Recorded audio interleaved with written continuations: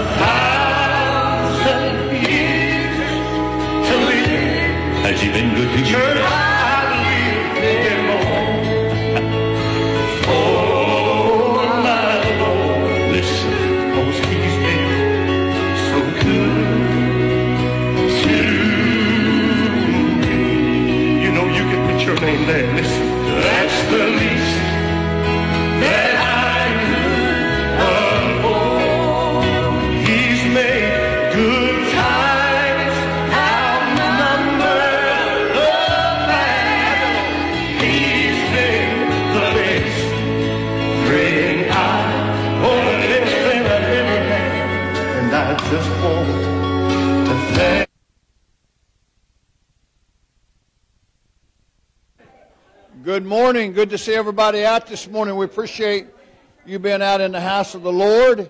And uh, it's another hot day. I think the real feels already 103, 104.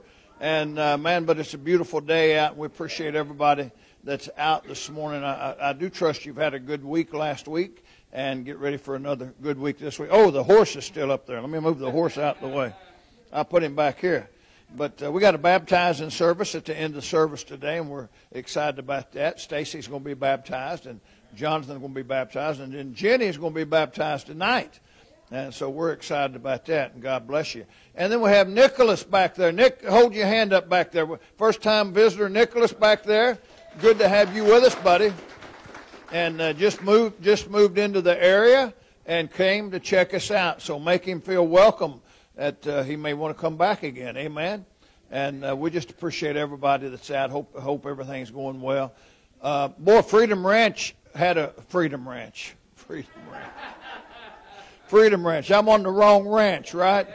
Eagle Ranch had a good had a good meeting this week, and if you tried to get on, they had uh, they had big storm that came through uh, Friday, man, and they've been without power, and and they they went right on. I think they've had several saved and rededicated. Had a baptizing in the creek after church one night, and uh, they just had a good time. And I got something that I've been wanting for a long time this week, and you've seen it if you've been on. If you, I've, I, man, I've shared it with everybody, and that was my buddy Trevor's testimony. And uh, I hope you've seen that. I hope you'll share that out. I just sent that out on my distro list on the podcast this morning to try to get everybody to get, get on that. But isn't he such a great young man? And then I don't know, it shocked me last night. He sang a song. And boy, did a good job. It reminded me of, uh, who, who was the guy that sang The Long Black Train? Josh Turner. Almost remind me of Josh Turner a little bit there. Got a deep voice kind of. Uh, but boy, did a good job. I didn't know he was a singer, but boy, that that'll help him there. But uh, what y'all grinning about over there? Huh? The long black train. We're thinking of celebrities when you mentioned uh, I thought it was Johnny Cash. I was wrong. Johnny Cash. Hello, I'm Johnny Cash. But Wrong train. wrong train. Oh yeah, wrong train. Wrong. Good one, Kevin. But anyhow, good to have you out today. Hope we have a great service. Major's preaching. Pray for him today, and uh, pray that we have a great service. If somebody's here today, it's not saved, not where they ought to be. Maybe today would be the day. Amen. Amen. So we appreciate everybody that's out. Uh, uh, hey, I see Sherry's back from vacation over there. Good to have you back, girl. She's had a good time and getting ready to go back to work. What? You going back tomorrow? This coming Wednesday? Wow, summer's over. Summer's over, so you know what that means. Back to the grindstone. All right, we're going to stand. Brother Bill, if you'd come and stand and remain standing after the pledges, and we'll be opened up in our songs.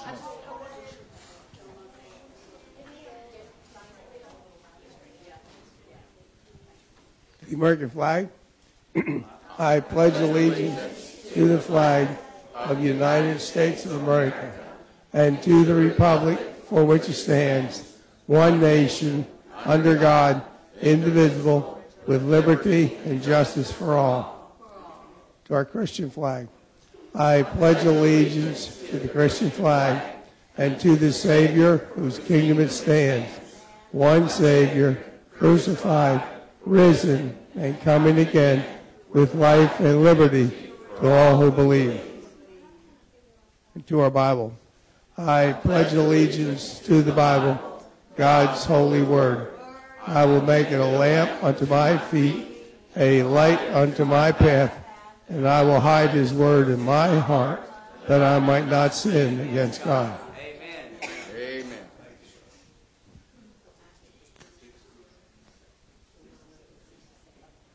Good morning. Good morning.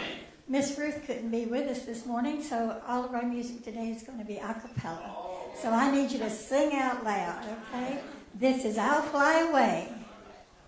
Some glad morning when this life is over, I'll fly away to a home on God's celestial shore. I'll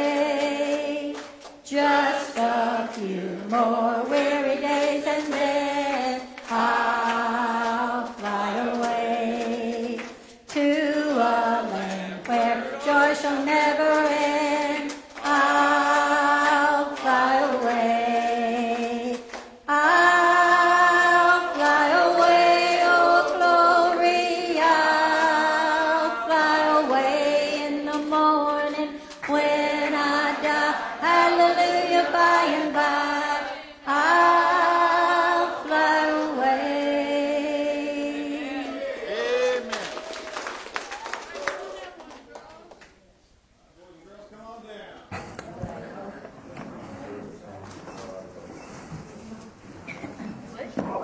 Amen. Careful, careful.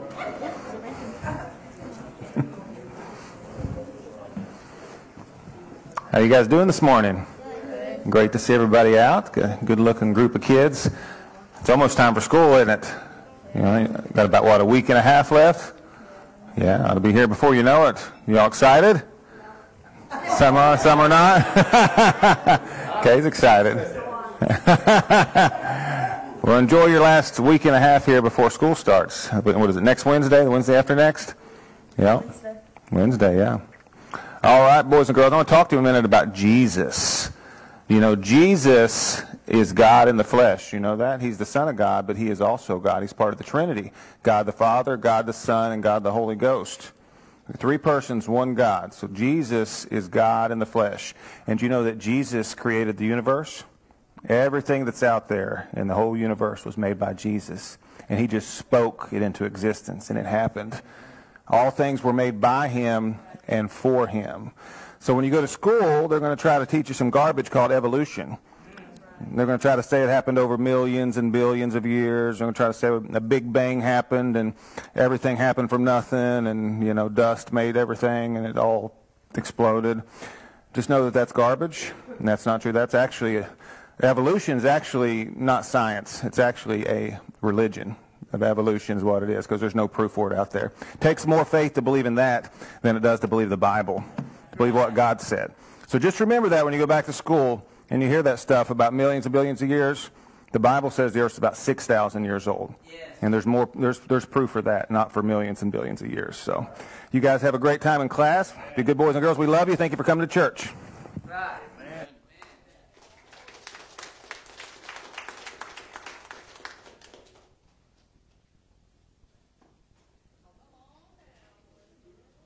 Let's all stand one more time. And uh, we're going to sing Love Lifted Me. And can we get the first verse, please? Okay, here we go. I was sinking deep in sin, far from the peaceful shore.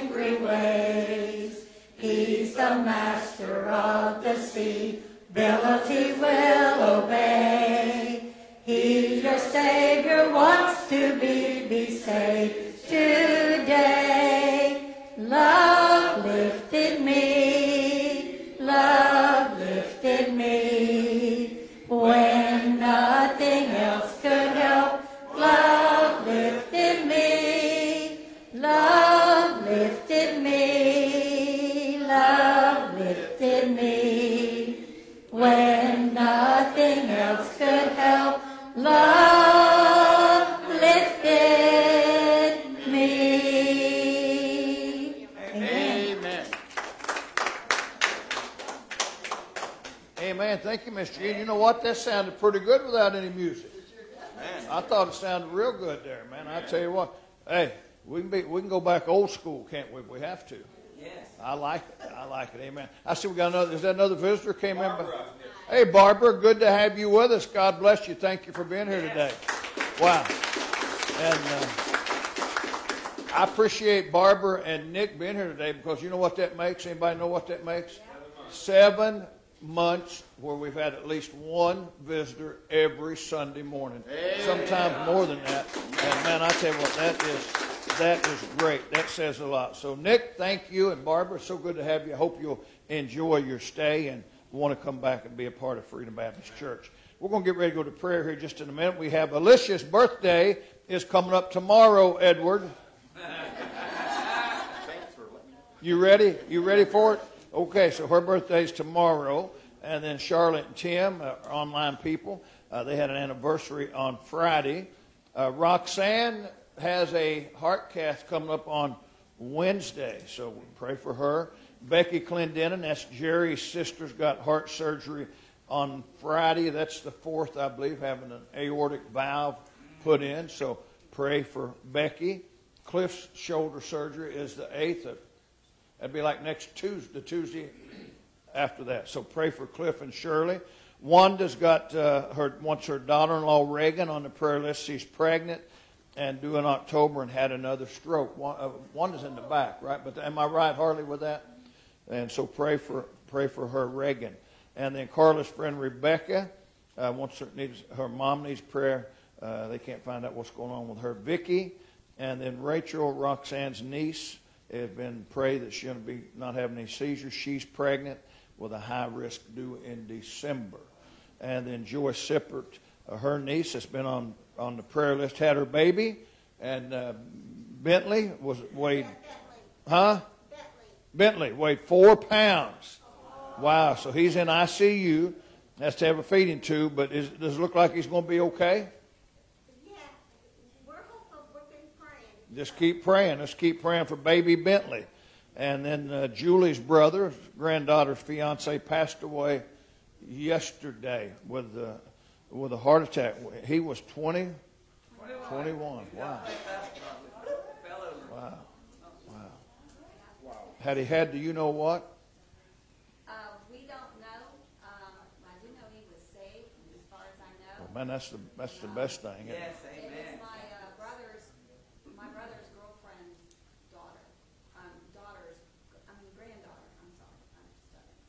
Uh, it was my brother's girlfriend's granddaughter, and it was. Wait a minute. I'm sorry, I'm stuttering, but um, uh, it was her boyfriend.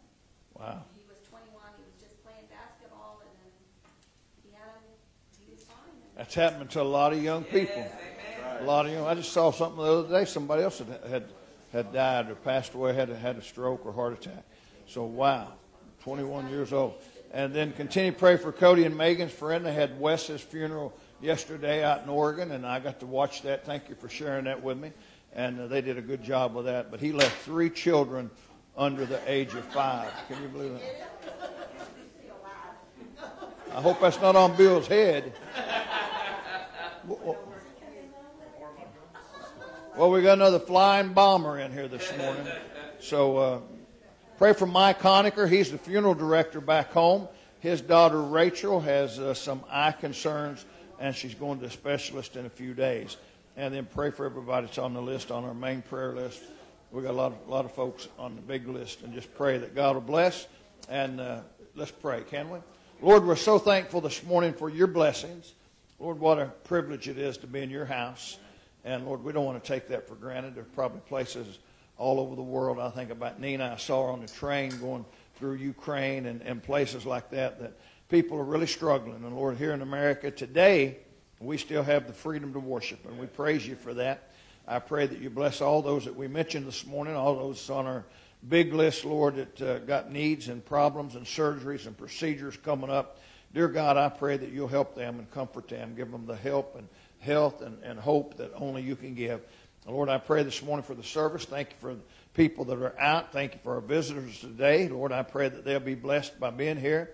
And Lord, we just ask you today, Lord, to bless our service. Thank you for Miss Jean and the singing. Pray for Major as he gets ready to preach and the children's church back there. Lord, maybe someone here today, maybe not saved or not where they ought to be. Today be the day. And Lord, bless these folks who are going to be baptized. And Lord, we'll thank you for it all. In Jesus' name, amen. Amen. All right, Miss Jean.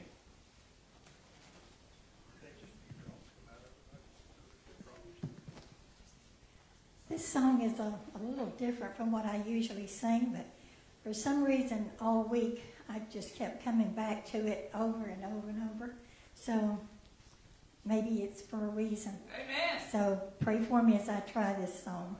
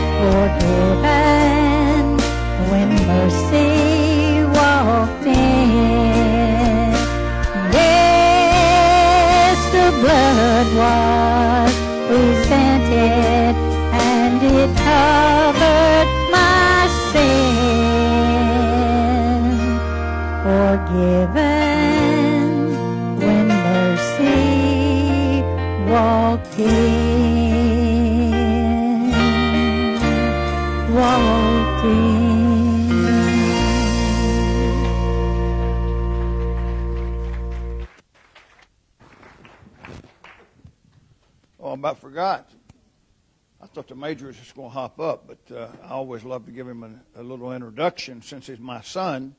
And uh, we appreciate the major and Carla and all that they're doing. And, and we got to keep the grandkids yesterday and last night, so we had a good time with them. But we appreciate the major. He's doing a great job and a tremendous help. And you know, I keep telling people I don't know what we'd do without him right now. I mean, we just we just we, we I, I need him, and I appreciate him filling in and preaching and teaching and and they're just doing a great job. So, Major, come on this morning, doing another great job, buddy. God bless you. kind words and introduction. It, uh, I was going to say, praise the Lord.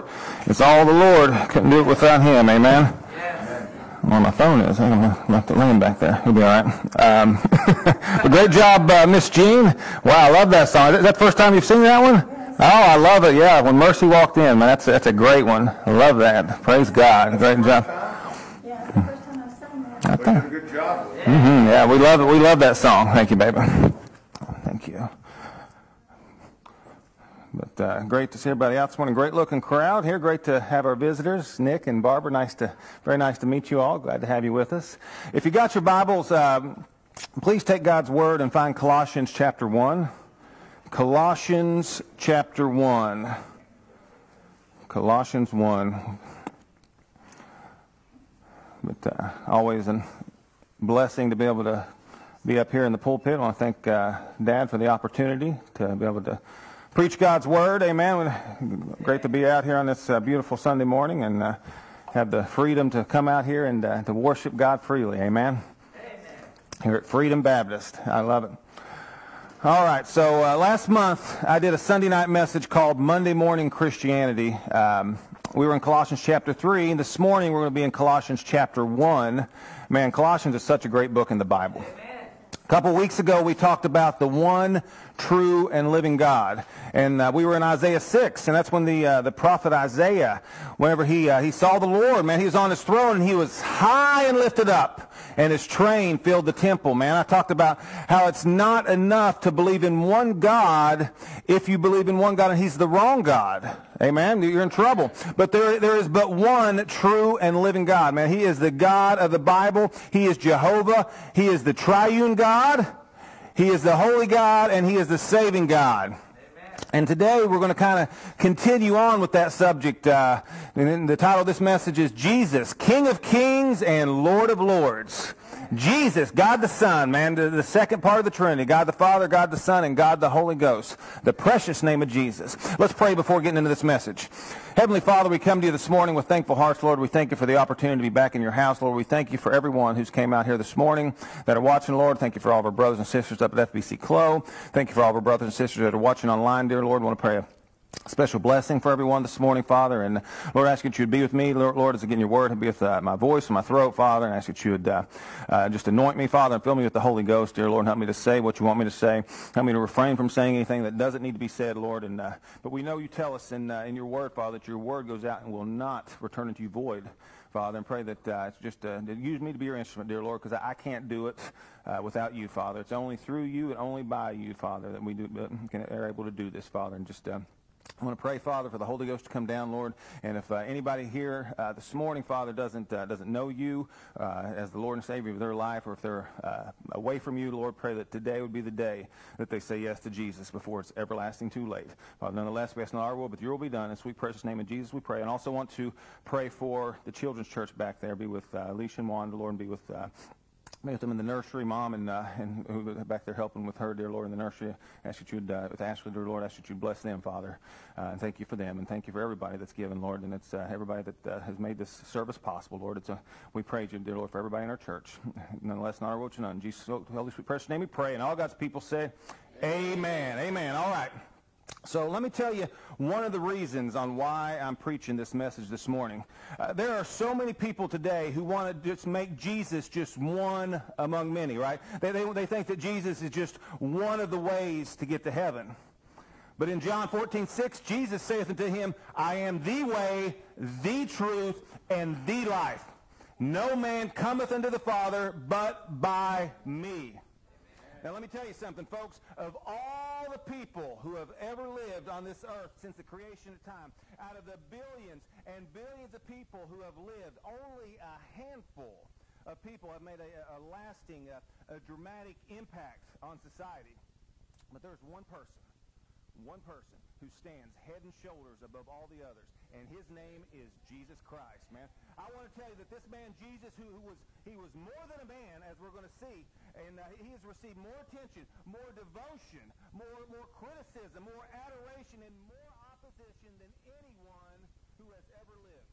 Every recorded word that Jesus Christ ever said has been studied, it's been scrutinized, it's been analyzed, it's been dissected, uh, it's, it's been uh, uh, thought about, compared. Every word that has been written.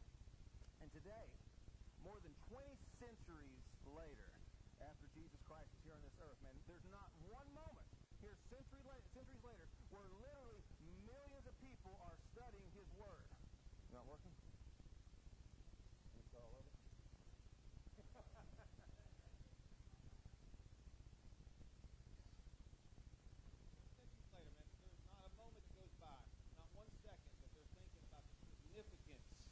of Jesus Christ and, but thinking about his actions and his words when he was here on this earth. Now, Jesus, man, he was born in a tiny place called Bethlehem a little over 2,000 years ago. And yet, his, his very birth divides all of history. We got AD, which is Anno Domini. That's Latin, man. It means, means in the year of our Lord. And then you got BC, which is before Christ. Now, although liberals are trying to take that out of history, they're trying to change that to BCE, before the common era. But uh, folks, I, BC is before Christ. Period. Man, I'm I, I'm sick and tired of that trash that they're trying to do. But listen, Jesus never wrote a book that, that, that we know of. Yet the, the books that have been written about him, man, fill thousands and millions of volumes, man, that, that fill the libraries of this world. And, and he never painted a picture that we know of. He, he, never did a sculpture that we know of. And yet, he has been the inspiration of some of the greatest art in the world. And you go to the great art museums in the world, and you're going to find out that Jesus Christ is the subject of the greatest art. He never wrote a song that we know of. But yet, man, just think of the songs that, that we sing adoring the Lord and Savior Jesus Christ. And around the world today, there's millions and millions and millions this morning are singing songs of heaven based on Jesus. Amen. He never raised an army that we know of, and certainly uh, he didn't, but, but he has an army of followers who are, who are not willing to kill for him, but who are willing to die for him, to live for him, and to share his love. And his, tra- his travels, man, they were very limited. So as far as we know, he didn't, he, he never, you know, in his earthly travels went outside the circumference of that little land of Israel. And yet around the world today, the sun will not set on people worshiping our Lord and Savior, Jesus Christ. He only started with a handful of followers. And yet today, friend, over 30% of the world believe, they say they believe in Jesus Christ. He only taught for three years. And for 2,000 years, we're still studying every word that the Lord Jesus said. He had no formal education. And to think of all the universities and, and the seminaries, but today more like cemeteries, uh, that, that have been founded in his name. The late Christian historian Kenneth Scott Latourette said this, and listen to this quote says, Jesus has had more effect on the history of mankind than any other of its race who ever existed. Can you say amen to that? I'll say amen. I mean, listen, to try to explain Jesus is impossible. Uh, to ignore Jesus is disastrous, and to refuse him is damnation. Yes. Oh, we need to understand who Jesus Christ is. And as I try to, as I try to preach this morning, I, I understand that my speech is too limited that my mind is too finite. My heart is too small to tell you what, what I want to tell you and what should be and what deserves to be told about the Lord and Savior Jesus Christ. Look, look with me now in Colossians 1, verse 19. Colossians 1, 19. Now, now look at this, man. This verse would sum it all up. Colossians 1, 19. It says, For it please, for it pleased the Father that in him, in Jesus, should all fullness dwell. It pleased the Father that in Jesus should all fullness dwell. Now, we're going we're going to find out that Jesus is not just to be prominent in our lives, he is to be preeminent. Yes. Jesus doesn't only show the way, Jesus is the way. Jesus does not only tell the truth, Jesus is the truth. Jesus doesn't just give life, Jesus is the life. Now, there's three things that I want to talk to you this morning about the Lord uh, Jesus Christ. And look, if you will, now in Colossians chapter 1, man, in the, in the book of Colossians, it is a great book. Uh, but we're going to we're gonna go over these three things, man. We're going to try to get a grasp on these. And we're talking about Jesus, King of kings and Lord of lords. Amen. Let me tell you this.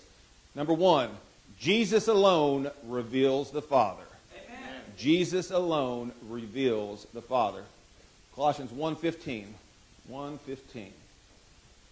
As it speaks of Jesus, man, and we're going to break it right in the middle, man, speaking of Jesus. It says, Who is the image of the invisible God, the firstborn of every creature? Now, God Himself is invisible. God, in His essence, is spirit. God is unseeable, He's unknowable, and unapproachable unless we have some way to come to Him. Amen. Someone to bring us to Him someone to reveal God the Father. Yes. Reason's not enough. Friend, religion is not enough. Right. Ritual, right, is not enough. Right. Jesus Christ himself is the one who makes the invisible God knowable.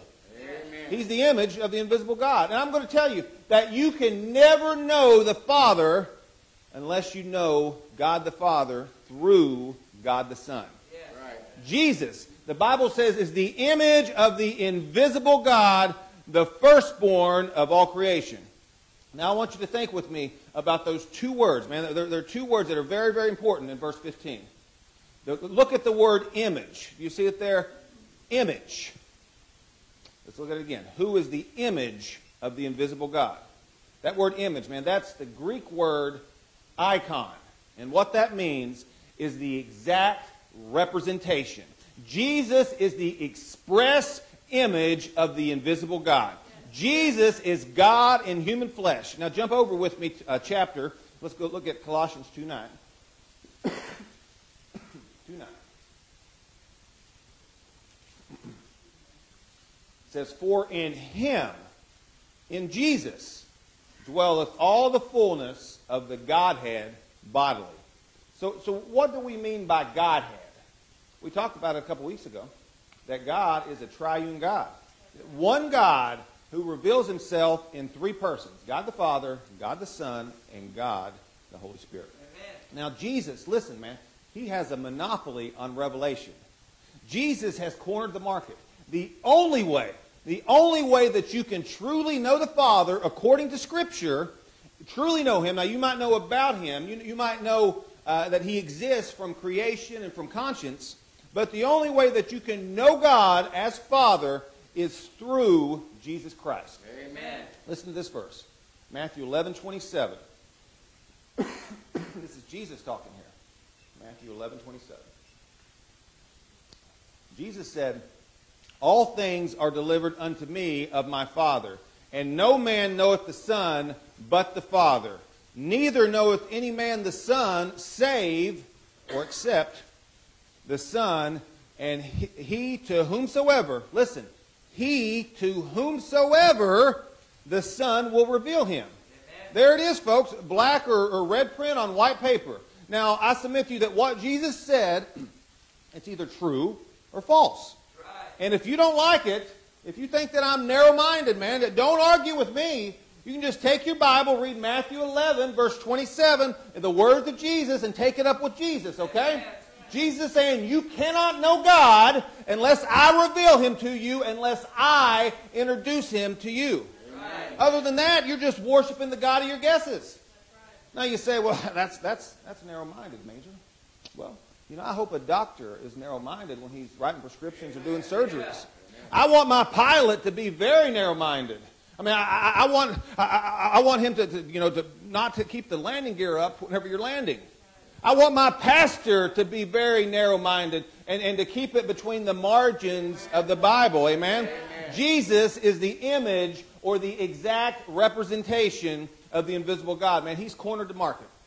The only way that you can know God is through the Lord Jesus Christ. Amen. Now, I love the story of Jesus going into the temple when he was a 12 year old boy. Remember that one? Now, I, I, wish I could have been sitting in the corner, man. All the doctors were there and the, the learned theologians, and they were questioning our Lord and Savior Jesus Christ. I mean, they might have said to him, Well, son, how old are you? He could have said, Well, on my mother's side, I'm 12 years old. But on my father's side, I'm older than my mother and just as old as my father. Because there never was a time when Jesus was not. He has always been. On his mother's side, he got thirsty. On his father's side, he created the water and the oceans and the brooks and, and the rivers and the lakes. On his father's side, he said in Revelation 21 6, I will give unto him that is athirst of the fountain of the water of life freely. On his mother's side, he got hungry. On his father's side, he fed the 5,000. Yes. He said in John 6:35, "I am the bread of life." On his mother's side, he lived in poverty and was homeless. On his father's side, he created the entire universe and he owns the cattle on a thousand hills. On his mother's side, with a broken heart, he wept at the tomb of Lazarus. On his father's side, he said in John 11 43, Lazarus, come forth. Yes. And Lazarus came out of that grave. And, and the first word I want you to see is the word image. That's icon, man. He is the express, express image or the exact representation of the invisible God. The exact representation of the invisible God. John 14, 9 says, He that has seen me has seen the Father. But back, back to Colossians, man. He, he, he called it in that book, he called it in, uh, in that verse there that we just looked at, firstborn. Did you see that? Look again. Colossians 1.15. The last part of it there says, the firstborn of every creature. Now, I want to slow down here and uh, talk a little bit about this word firstborn because it might seem that, that he was created. But the word firstborn here, be very careful, listen to it. It does not refer to time, it refers to position, it refers to status. It does not mean that Jesus was the first being ever created, man. We already know that he's the one who created all things. And we're going to see in Colossians 1.16, for by him were all things created. Well, he couldn't be created if he's the one who created it all. So firstborn certainly does not mean that God one day created him. By the way, the Jehovah Witnesses, they'll tell us and they'll, they'll use that verse and they'll say, well, Jesus had a beginning. No, he never had a beginning. There was never a time when Jesus was not. Jesus is before all. He is above all. Whether things in heaven or things in earth, principalities or powers, man, we're going to see this. The word firstborn refers to his status. It means that he's over everything. First rank. Let me give you a good verse here in the Old Testament, Psalm 89:27. God says, "Also I will make him my firstborn." Look at the second part. Higher than the kings of the earth. I mean, this speaks of status. So what do, what we see here, what do we see here in, in verse 15? That Jesus Christ is the exact representation. He is the, in, he is the visible image of the invisible God. And that the Lord Jesus Christ, he is higher than all the kings on earth. He is the King of kings and he is the Lord of lords. And he is in the highest spot of all. So number one, Jesus alone reveals the Father. Say amen. Amen. Number two, Jesus alone rules the universe. Amen. Begin now in uh, verse 16, Colossians 1 16 and 17. It says, give it a second here to catch up. Colossians 1 16 and 17. There we go. It says, For by him, by Jesus, were all things created that are in heaven and that are in earth, visible and invisible, whether they be thrones or dominions or principalities or powers. All things were created by him and for him. And he is before all things, and by him all things consist.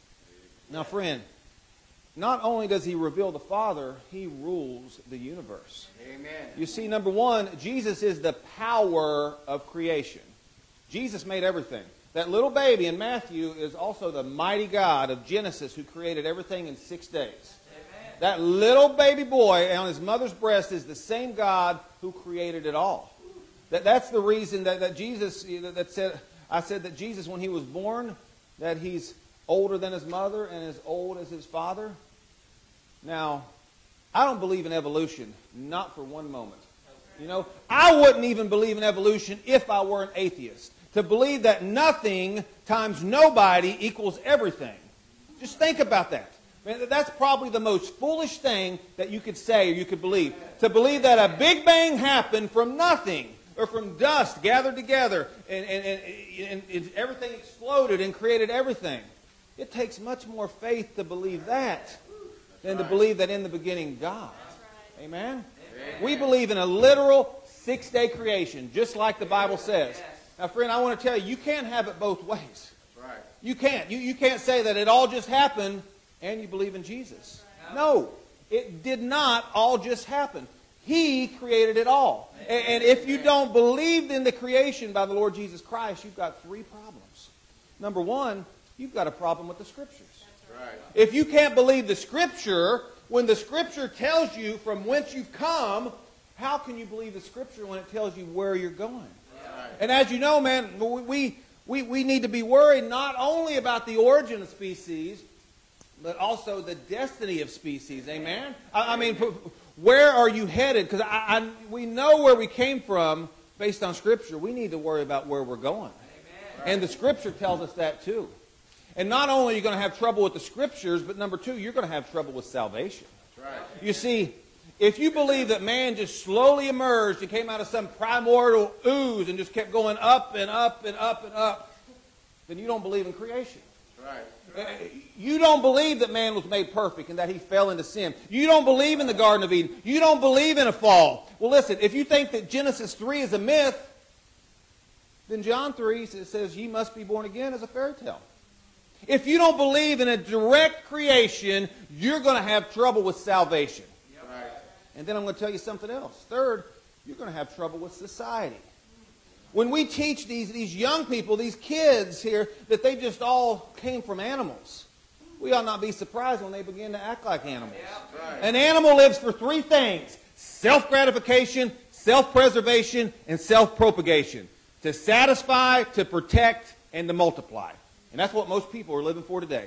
Because they don't understand that they are made in the image of God. And, and we see today that, that there's this, this, this animal rights movement that, that's going on, man. Like, like animals have the same rights as human beings. They don't. Animals are distinct, man. God gave man body, soul, and spirit. He gave no animal a spirit. A- Animals don't know God. They can't worship. They cannot pray. Now, certainly we don't believe in cruelty to animals. I love animals, man. Our sweet dog Lacey, man, she's part of our family. But don't ever get the idea that man is just an intelligent animal. Right. Anybody else thought that in school? Yeah, I was. And that was probably 30 some years ago. Imagine what's being taught today. Right. Listen, man is made in the image of Almighty God. And we need to understand that. And friend, random, just random and impersonal chance is not going to create complexity and design. Just look at creation. Look at the human body. Look at the vast universe. And you can clearly say that there is a creator. It was made with design. There's a book called uh, Darwin's Black Box. It's by Michael Behe. That's B E H E. And he has a principle that he calls irreducible complexity. And he says that it's, a, it's as a system of series of parts in which the removal of any part causes the entire system to cease functioning. Excuse me. He used an example of a, a spring-loaded mousetrap as an example. You take one part out of it, it's, it's not going to work. You know, in the day of Darwin, Darwin, they didn't understand how complex, for example, a cell, just one cell. For example, one cell in one cell, a human cell that you have, if you put it under a microscope, you can see it. And folks, I want to tell you that in the human body, we have trillions of cells. Right. I counted them last night. I know. no, just kidding. But no, there are trillions of cells in the human body. Now, you have to put them under a microscope, but in these cells, if you look inside this cell, man, you're going to find rods. And in these rods are known as chromosomes. And in those chromosomes, we have what you call genes. And in those genes, encoded in those genes, is what we call DNA. Right. And in that DNA is a detailed description for every part of your body.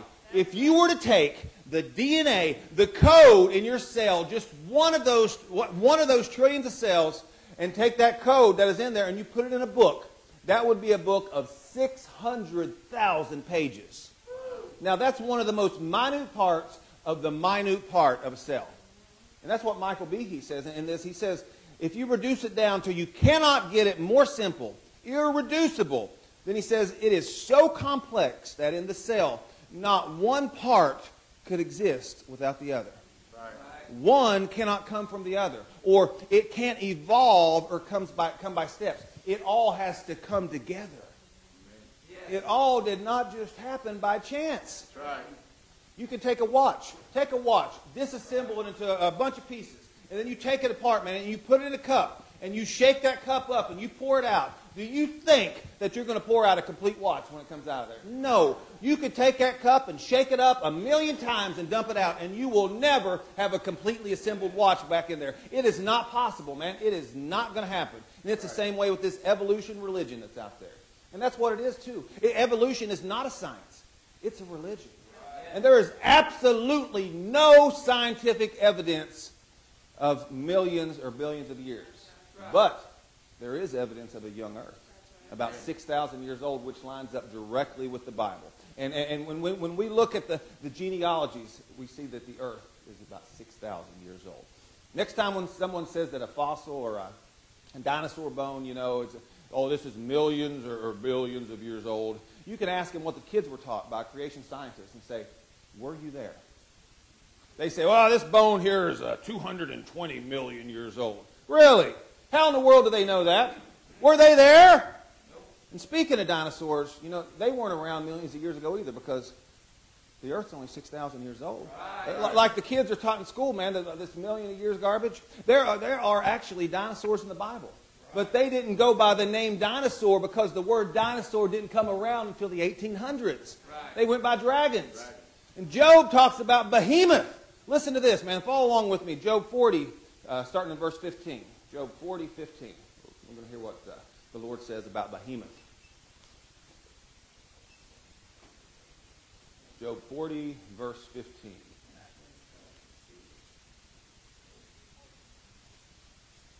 Forty fifteen.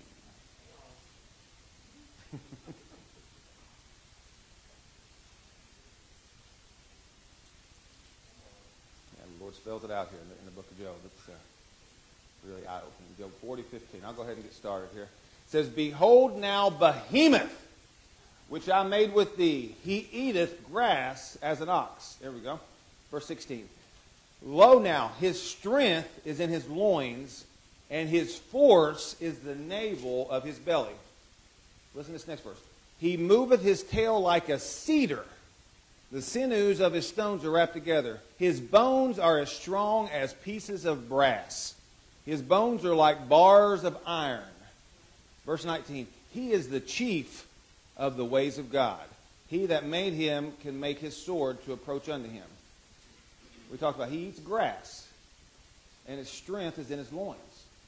His tail is like cedar and bones like iron. What in the world has a tail like a cedar tree? He's chief in the ways of God. Hmm. Sounds to me like it's a brontosaurus. The Bible also talks about Leviathan. Talks about Leviathan in Job and in Psalms and Isaiah, man, like it's this type of sea monster.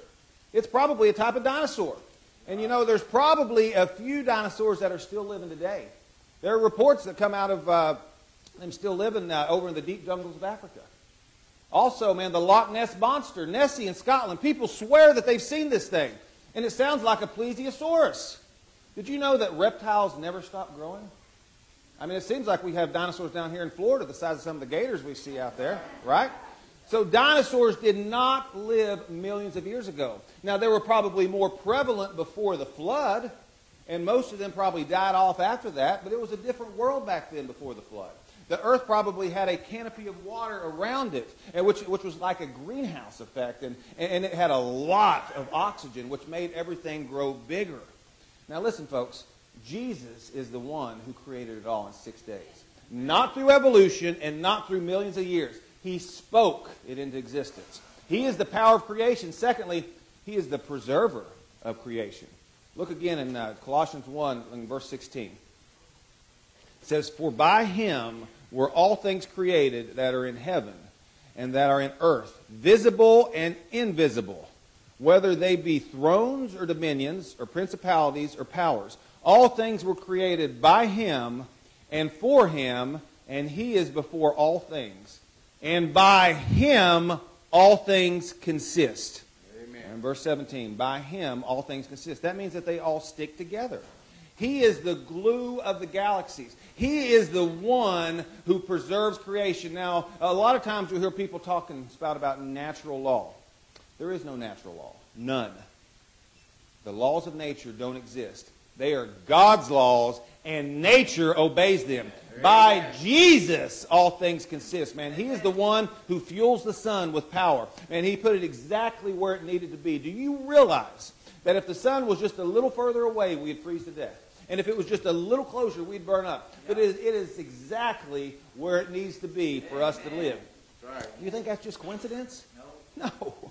Jesus placed it precisely where it needed to be, man. He is the one who perfectly placed the moon with its beauty. He's the one who keeps the stars on their courses. Man, He's the one who keeps perfect gravity on earth.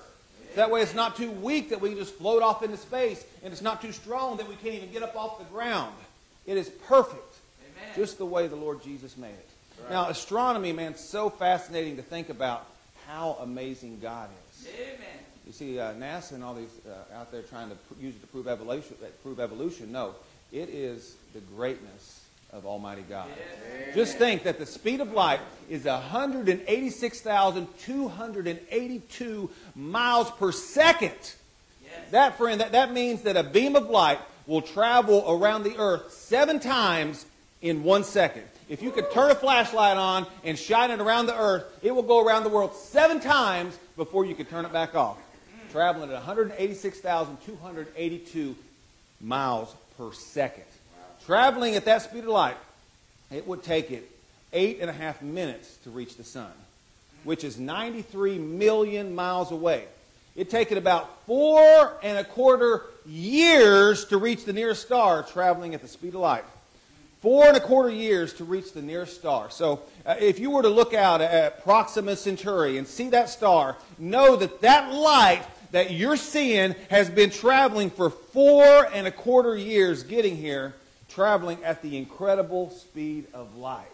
Wow. And just think, that's just in the Milky Way. The Milky Way in our galaxy has billions of stars in our galaxy. In our galaxy, they tell us is just one of billions of galaxies. Who did that? What's his name? Jesus. He is the one who keeps it all running together. Now, there's a story of a, uh nuclear physicist who was traveling. He was going from one uh, university to another, lecturing on the complexities of the universe and uh, nuclear physics and the dynamics of nuclear matter. And he had a chauffeur with him that drove him around from school to school. Finally, the chauffeur said, he said, listen, uh, you've given that speech so many times. I've listened to it so many times. I've memorized it. I tell you, I, I think that, to tell you the truth, I think I could, I could give that speech. The learned doctor said, well, okay. I'm getting a little bored. I tell you what, let, let me put on the chauffeur's uniform here. In the next university we go to, you stand up there and you give that speech, and I'll sit out in the audience and act like the chauffeur. So they thought it would be a lot of good fun. So uh, the chauffeur got up there in, the, in this great university and gave this lecture on nuclear physics. And man, he was brilliant. He had it down to a T, but he spoke a little faster than the learned professor. And so the chancellor of the university said, he said, well, I see we finished at 20 minutes early, man. We have some time for some questions and some answers. So one student stood up and he said, Sir, you know the center of the atom there and that these protons and both of them have a positive charge. And we know that positive charges normally resist one another. But these seem to cohere. They seem to stick together. Sir, can you tell me why the nucleus of the atom does not disintegrate? The chauffeur said, he said, I've been traveling for a long time. I've been to many universities, but that, beyond any doubt, is the dumbest, most stupid question I've ever heard. I can't even understand how you got into this university. He said, even my chauffeur could answer that question. you guys will get that later. he, he brought his chauffeur up there to answer the question. But, friend, I want to tell you that the chauffeur and the learned doctor, neither one can this answer that question. Because you know what? Who keeps the whole thing from flying apart? I can answer that question. Yes. His name is Jesus. Friend, He is the glue of the galaxies. He is the one who made it all together. Now, listen, it was all made by Him. He is the power of creation. He is the preserver. And, friend, number three, He is the purpose of creation. Amen. Look at uh, Colossians 1.16, the last part. It says, All things were created by Him and for Him. Yes. So, what's this world coming to? It's coming to Jesus. What's this universe coming to? It's coming to the Lord Jesus Christ. Amen. Now, these Eastern religions out there, they've come into America, man, and these, uh, these Eastern religions teach that life is cyclical, that it just goes around in a cycle. And so they believe in reincarnation, that you just keep going around and around until you get it right. Just go around and around. Now, if your karma's good, then you'll make good progress. If your karma's bad, you won't make good progress and regress. So if you've been a bad boy, you may return as a roach. Or a little higher, you may return as a cow. And that's the reason why they won't eat uh, meat over there, right? They, they think they might be eating their grandmother. Yeah. And so th- that's what they believe in, that life is cyclical. Now, that's, that's not what the Bible teaches. No, right. The Bible teaches that life is linear, that history is linear, and that we are headed towards a climax. And I believe we're getting close to that climax of history where the Lord Jesus Christ is coming back to this earth to reign as Lord of Lords and King of Kings, man. And I can hardly wait even so come, Lord Jesus. We're moving towards that, amen? It was all made by Him, it was all made for Him, and it is controlled by the Lord Jesus Christ. Well, let's come to the third thing about our precious Savior, the one and only Jesus Christ. Friend, Jesus alone reveals the Father. Jesus alone rules the universe. And I'm going to tell you something else about him. Number three, Jesus alone reconciles the lost. Amen. Reconciles the lost. Man, praise God for that. There is no other way to be saved. Amen. Look with me, if you will, in Colossians 1 20 and 21. On This wonderful chapter here, 20 and 21. It says, And having made peace through the blood of his cross, by him, Jesus, to reconcile all things unto himself. By him, I say, whether they be things in earth or things in heaven. Verse 21. And you that were sometime alienated and wicked in your mind by wicked works, or alienated and enemy, excuse me, sometime alienated and enemies in your mind by wicked works, yet now hath he reconciled. Wow. Hallelujah. Glory to God, man. The one who created it all, the one who preserves it all, the one who is the icon, the express image of the invisible God, of Almighty God, man. He is the firstborn, the highest of high, the King of kings, and the Lord of lords. Can you believe it, man? He stepped out of heaven and he died on that cross, man. When you see his deity, then you can understand the greatness of his death. Because listen, His deity makes his death meaningful. His death makes his deity knowable. His, his deity makes his death meaningful. The blood that was poured out at Calvary was the blood of the very Son of God, man. That Jesus, who was the God man, God in human flesh, 100% God and 100% man. As much God as if we were not, as much man as if he were not God at all. As much God as if he were not man at all. Not half God and half man. Not all God and no man. Not all man and no God. But the God man, the God man came to, to, he came to be born of a virgin. He came to live a sinless life. He came to get nailed on a cross. And with the broken heart, he died for you and me. And he rose again from the grave. The one who created every seed, every tree, every shrub, every limb was hung on a tree, on a cross. The one who scooped out a place for the seas, the, the one who created every lake and every pond, every brook and every spring, he was the one who said on the cross, I thirst. The one who flung out the sun and ignited the sun with a word was the one who suffered under that broiling noonday Middle Eastern sun. He was the one who flung it into space. And let me tell you something, folks. When he created the universe, you know how he did it? With a word. He spoke and it was so. The universe dripped from his fingers, man. He just spoke it into existence. Now, all this talk on the news about UFOs and aliens, I heard it more again uh, this week. And I, I believe the Bible. And the Bible in Genesis 3.20, in Genesis 3.20 says that Eve was the mother of all living. That means that there's no aliens out there. That means that there's no gap theory. That means that there's no cavemen or no pre-Adamite race. Maybe you've heard of that pre-Adamite race of, millions of billions of years between Genesis 1.1 and Genesis 1.2. The church has used that gap theory to try to, to fit evolution into creation and into the Bible. And, and y'all ever heard of that, man? That is hogwash. You don't change the Bible to fit man's philosophy. Philosophy is what it is. Garbage. Tired of that trash.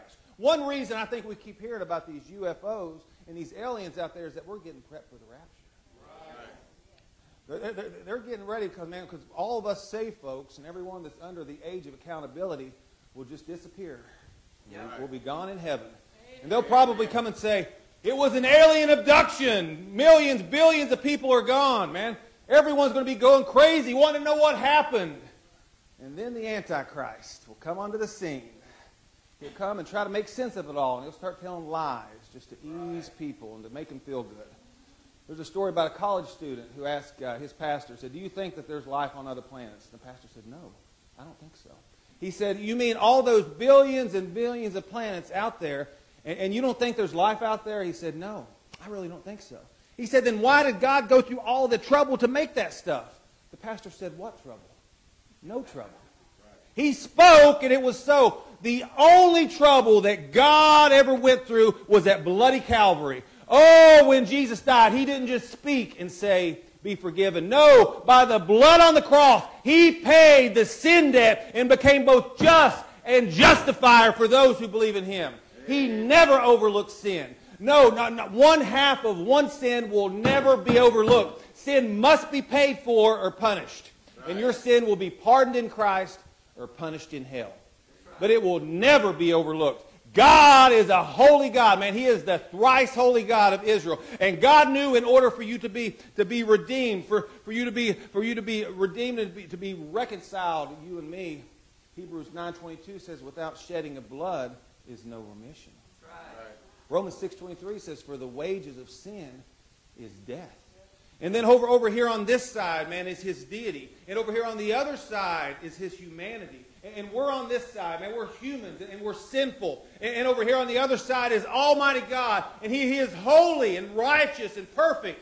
And between holy God and sinful man, there is a chasm of sin that separated us from Almighty God with sin. And Jesus is going to reconcile. He's going to build that bridge. He builds that bridge that will span that chasm. And over here, we got the Lord Jesus Christ, puts down the foundation of his deity. He is God. And over here, he puts down the foundation of his humanity. He is man. He is going to take our place. He is dying for us. And then, through the rough timbers of the cross, he reconciles God and man. Hallelujah! What a Savior. Friend, I'm telling you, he is Jesus, the one and only. He is Jesus, the King of kings and the Lord of lords. He is the one who reveals the Father. He is the one who rules the universe, and He is the one who reconciles the lost. And I am so glad that I can tell you that He is my Lord and He is my Savior. I love Him with all my heart, and I want you to love Him too. He's coming back one day. Amen. First time He came as a lamb to die for the sins of the world. Next time, when He comes back to this earth, He's coming back as the Lion of the tribe of Judah. Man, the, the title of this message is Jesus Christ, King of Kings and Lord of Lords. Man, next time He's coming back, He's coming back to judge the sinners and to rule and to reign. When Jesus comes back at the end of the tribulation, at the battle of Armageddon, it says in Revelation 19:16, and he hath on his vesture and on his thigh a name written, King of Kings and Lord of Lords. Man, he is coming back soon, and you need to get ready. Are you ready to meet him? Do you have friends and family who aren't ready that you need to pray for?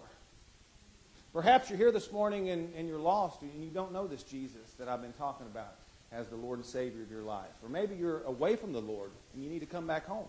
It's the most important decision that you'll ever make. You'll never have to worry about going to hell if you're saved. It's so easy to get saved and have your name written in the Lamb's Book of Life and know that you're going to be going to heaven someday. First, you have to understand there's a huge problem.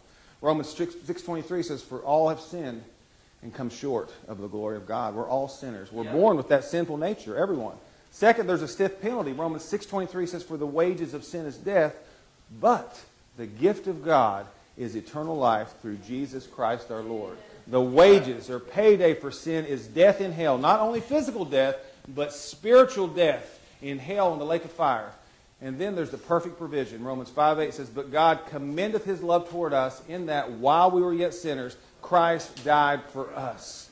God commended, or he demonstrated his love for us. How to do that? By allowing his precious son, Jesus Christ, to come to come, come from heaven, to leave heaven's throne, to come to earth, to be born of a virgin, and to, die, to die, live a perfect life, and to die on the cross, to be buried in a borrowed tomb, and to raise again from the dead, all for us to pay the price for our sins while we were yet sinners. Yes.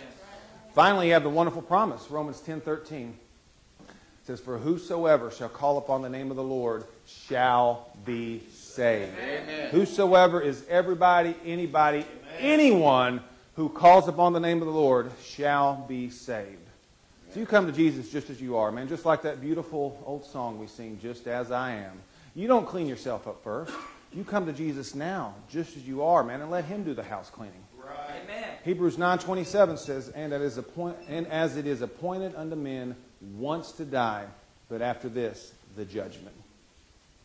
We all have a date with death, Yep. and judgment is coming. We're all going to die, man, unless you're saved and uh, you get raptured out of here before you die, but otherwise, we're all going to die. So, are you ready? So, would you bow your heads in prayer? Heads are bowed and eyes are closed. Church, would you begin to pray for those around you that, uh, that, that may not know the Lord Jesus Christ, man, that they don't have a personal relationship with Jesus? Because I'm not talking about a religion. Religion will send you to hell. Religious people crucified Jesus. I'm talking about a relationship. And Heavenly Father, I pray today that folks will, that they'd come to Jesus, Lord, and that, that they will not wonder or worry about other people, and that they would lay down any, any pride. And Lord, that they would humbly and joyfully acknowledge and accept Jesus as their personal Lord and Savior. Every head bowed, every eye shut, nobody looking around. I'm not going to embarrass anybody, not going to come to you, not going to call you by name. But while heads are bowed and eyes are closed, how many of you can say, Major, I am absolutely certain that I have been saved and I have a personal relationship with Jesus and I go, that I'm going to heaven and I know that beyond any shadow of a doubt. Can you give me that testimony? Simply raise your hand and raise it high. And by that, you're saying, I know that I know that I'm saved today. All right, now, God bless all those hands. Thank you. Now, if you could not answer that question, let's get it settled this morning. I know you're interested in spiritual things, or else you probably wouldn't even be here. Let me help you today be absolutely certain of it. Let's take care of it right now, because I'm telling you, friend, Jesus loves you. He's reaching out to you with his ar- arms wide open, and he says, Come unto me. Come unto me. Come to me. Not come to some church or some denomination or to some idea. Jesus says in Matthew, uh, said in Matthew 11 28, Come unto me, all ye that labor and are heavy laden, and I will give you rest. Jesus is what your heart longs for, and you will never find rest or peace or satisfaction or joy until you find it in the Lord Jesus Christ. He paid for your sin. He, he reaches out with a nail scarred hand to you right now, and he says, Come to me. The Bible says in Acts 11, uh, Acts 16:31, "Believe on the Lord Jesus Christ, and thou shalt be saved." Believe on, man. That means to put all your faith and trust in. Not just believe in. The Bible says that the devil and his demons believe and they tremble. You need to believe on Jesus and put your faith and trust in him as the Lord and Savior of your life. So if you're here and you've never been saved and you know that you need to be saved, could you just raise your hand? I'm not going to embarrass you, I'm not going to call you by name. But by that, you're saying, I know that I'm lost and I know that I need to be saved. It won't save you, but it's a step in the right direction. Anybody out there? All right, God bless you. What if you're here, though, you're here this morning and you've been saved? You know that, you, you know that you've been saved, but, but you've backslid. You know that you're away from the Lord and that you've turned your back on Him and you're not living like you should. Could you raise your hand? By that, you're saying you know that you've lost fellowship with the Lord and that you need to rededicate your life to Jesus. You need to come back home. Anybody in that category? God bless that hand. Anybody else? All right, God bless you all. So if you raised your hand or if you didn't raise your hand, and if you want Jesus to come into your heart to be saved, or if you're away from the Lord and ready to come home, man, I'm going to lead you in a prayer. And it doesn't have to be word for word, man. Just mean it with all your heart. We call it the sinner's prayer. And, and you can pray and accept Jesus as your personal Lord and Savior, and you can do it right now. And I promise you, on the authority of the Word of God, that He will save you and that He will keep you saved. So would, would you like to know that you really do have life? Jesus said in John 10:10, 10, 10, I am come that they might have life. I'm going to lead you in a prayer. And if you, if you want Jesus, pray this prayer or pray something like it. Say, Dear God, I know that I'm a sinner and I'm lost and I need to be saved. I want to be saved. Lord, my sin deserves judgment, but I need mercy. Just like the song that Miss Jean was singing. The mercy walked in. I want to be reconciled. Thank you that you died for me. Thank you for paying for my sin on that old rugged cross. I turn from my sin to you and I receive you by faith. I receive you by faith right now like a little child because I, I, don't look for a sign and I don't ask for a feeling. I just stand on your word. And the best I know how, I give my heart by faith to Jesus Christ. And now I receive you as my Lord and Savior. Forgive my sin. Cleanse me and come into my life. Take control of my life and begin now to make me the person that you want me to be. You're now my Lord and Savior, and help me never, ever to be ashamed of you, and give me the courage to make it public. In your name I pray. Amen. All right, if you sincerely prayed that prayer to be saved or rededicated, again, it doesn't have to be word for word. God knows your heart, and that's what matters. But if you prayed to receive Jesus, welcome to the family of God or welcome home. I'm going to ask you to do something else. Here, we're going to get a song, but would you come down to the altar? Man, we want to talk with you. We want to encourage you. We'll go some scripture with you and pray with you. You need to put some feet on those prayers. I know it's a big step, but Jesus said, loose paraphrase, if you're ashamed of me before men, I'll be ashamed of you before the Father. Now, if you're watching online, you prayed that prayer, just put your name on the screen, man, that you got saved or dedicated, man. We love you and we want to rejoice with you. As Miss Jean gets us a song, the altar's open. So come now. Do you have lost or fa- uh, lost friends or family members that need to be saved? Man, the altar's open. Come now. Don't delay. Do it today because the Bible says that today is the day of salvation.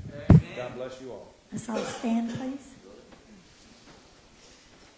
There is a name I love to hear. I love to sing its word. It sounds like music in my ear, the sweetest name on earth. Oh, how I love Jesus. You need to come this morning. Oh,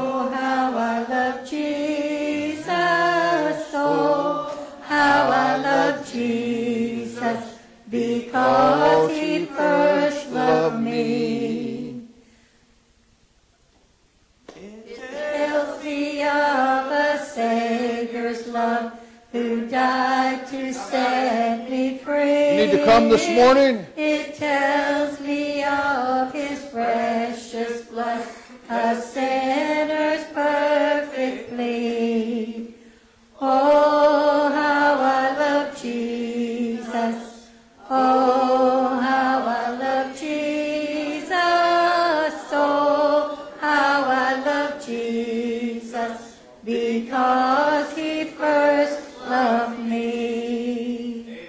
be seated. Thank you, Major. What a great job. What a great job. And uh, we're going to get ready to baptize there just, just in a minute.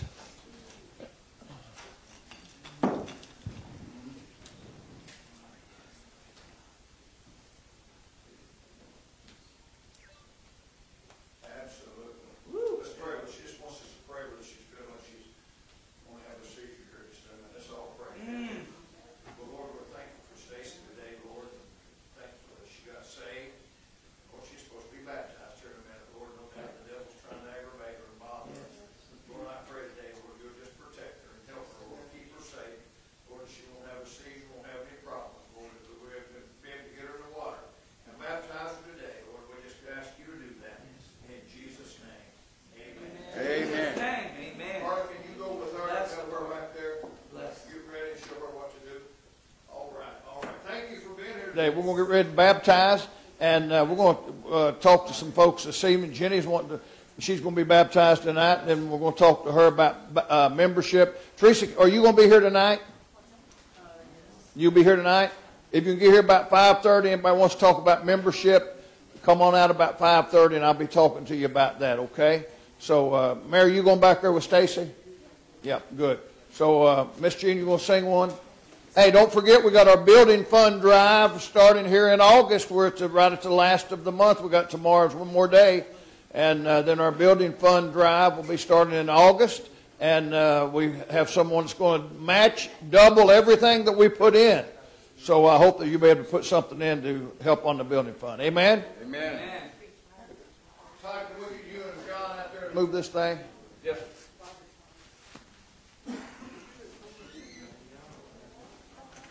Those that would like to stand, please feel free to do so, and we'll sing, Are You Washed in the Blood? That should go along with the baptism today. Have you been to Jesus for the cleansing power? Are you washed in the blood of the Lamb? Are you fully trusting in His grace this hour? Are you washed in the blood of the Lamb? Are you washed in the blood, in the soul cleansing blood of the Lamb? Are your garments spotless? Are they white as snow? Are you washed in the blood of the Lamb? Are you walking daily by the Savior's side? Are you washed in the blood of the Lamb? Do you rest each moment in the crucified? Are you washed in the blood of the Lamb? Are you washed in the blood, in the soul cleansing blood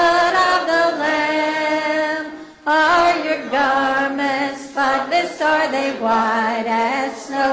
Are you washed in the blood of the Lamb? When the bridegroom cometh, will your robes be white? Are you washed in the blood of the Lamb?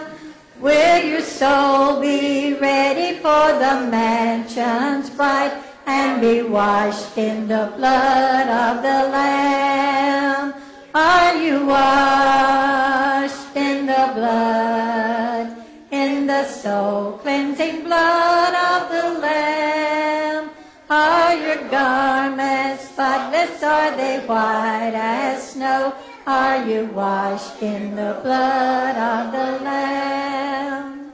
Lay aside the garments that are stained with sin and be washed in the blood of the Lamb. There's a fountain flowing for the soul unclean. Oh, be washed in the blood of the Lamb. Are you washed in the blood, in the soul cleansing blood of the Lamb? Are your garments spotless? Are they white as snow? Are you washed in the blood of the Lamb? Be seated. please.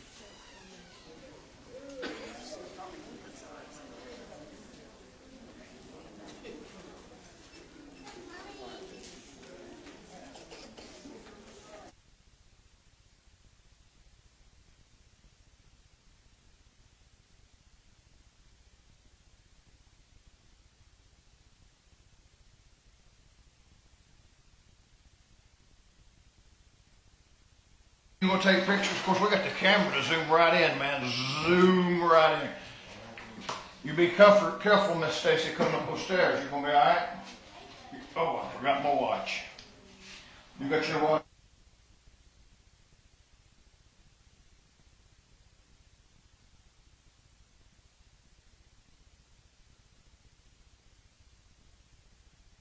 Last week at Brian and Mary's wedding. Amen. And uh, and her husband Adam got saved. Adam's back there. And uh, man, what a blessing to see. Had three people saved at that wedding. You gonna be all right? You gonna leave your uh, splint on?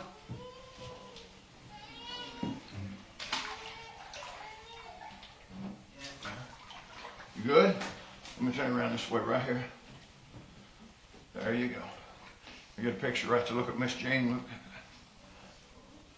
All right, you gonna cross your arms? Which one's your bad arm? Right there? Don't don't hurt her arm, Major, right? You're gonna hold your nose. Step up about a step or so. There you go. Almighty God, our Heavenly Father, upon the confession, Lord, of this our sister's faith in Thee, and in obedience to Thy holy commandment, we as Thy servants baptize Stacy in the name of the Father, and of the Son, and of the Holy Ghost. Amen. All right, praise the Lord. Careful. John.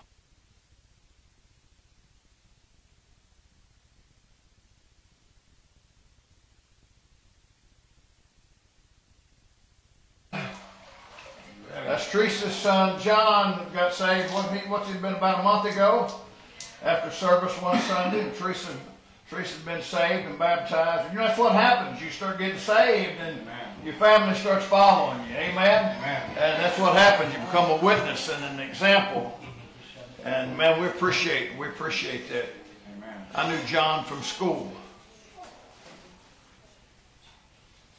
I better say little John or we'll get big John in here and baptize him again.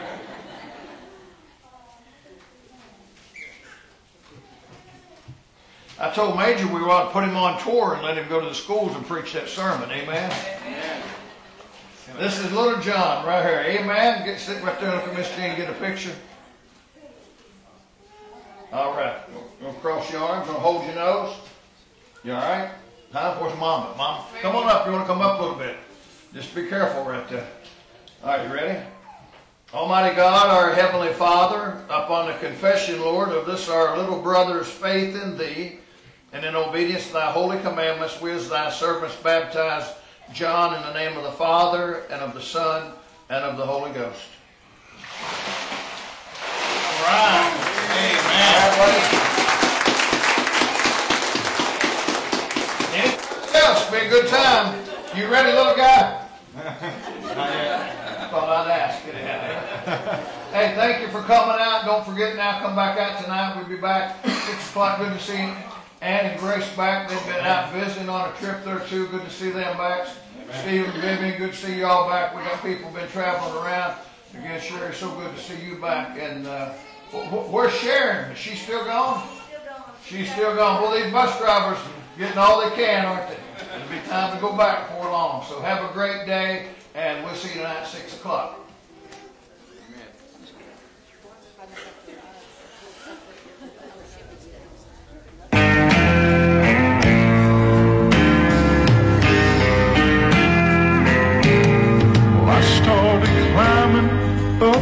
This mountain a few years ago.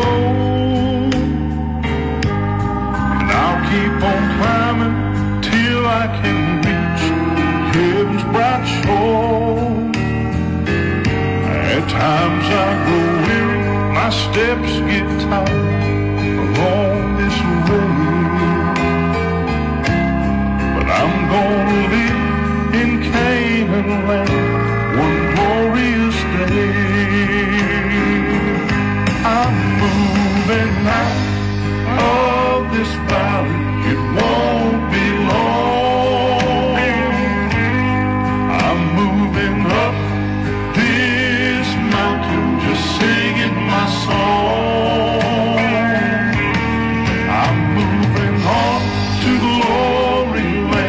That's where I belong.